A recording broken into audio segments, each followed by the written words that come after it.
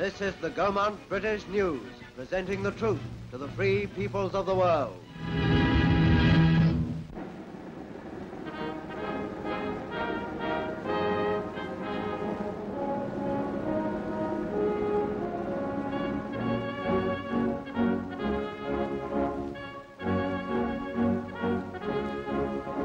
After four years of German occupation, it was announced that Paris had been liberated.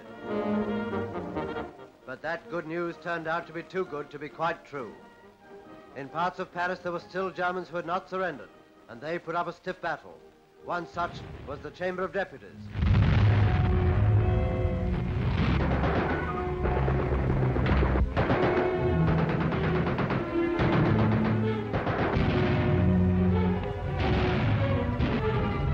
At last, a German officer appeared with a white flag, seeking terms of surrender for some hundreds of German soldiers inside.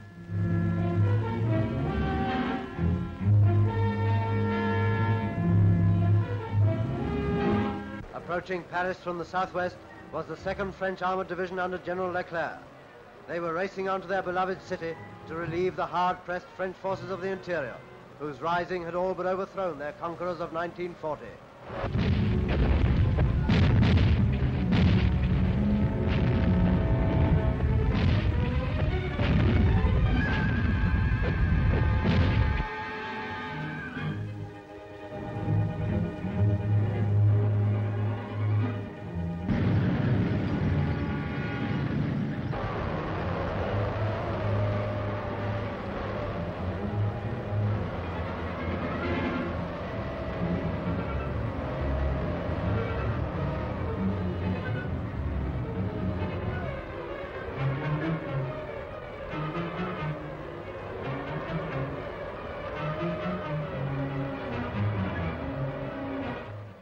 Had many brushes with groups of Germans still holding out.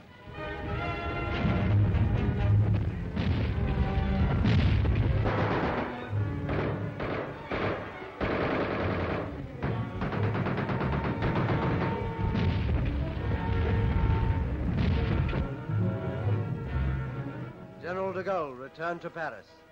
At Montparnasse station, he greeted French officers who had played a prominent part in the city's liberation.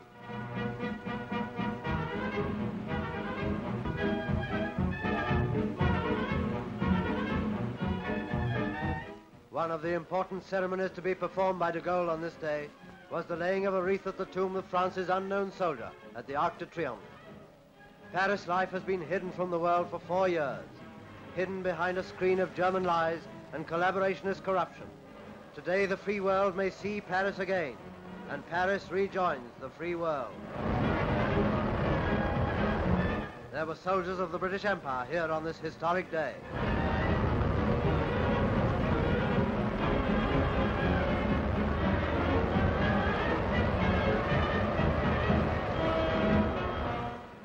Tuileries Gardens, fountains were playing for the first time since 1940.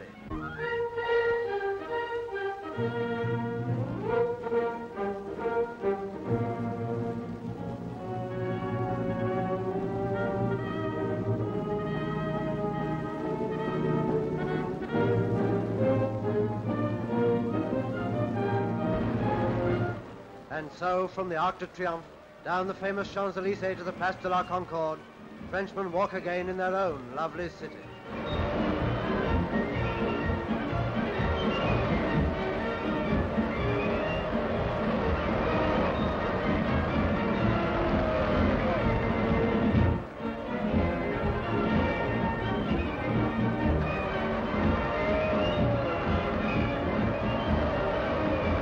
They have no need to fear the swoop of the Gestapo for innocent hostages to be murdered.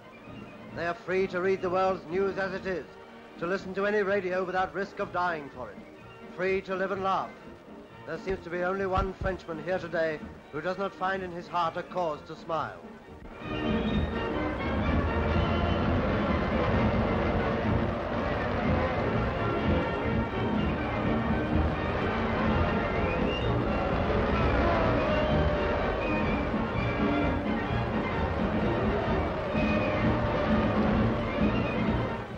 Another great crowd in the Place de la Concorde.